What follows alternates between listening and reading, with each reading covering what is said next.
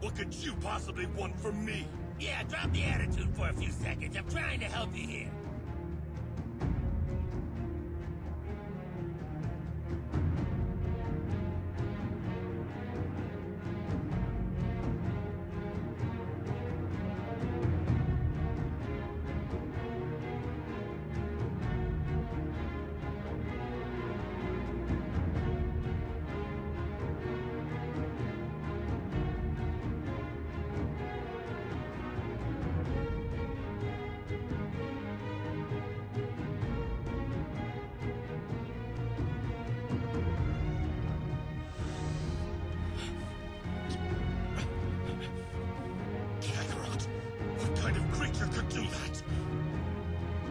that.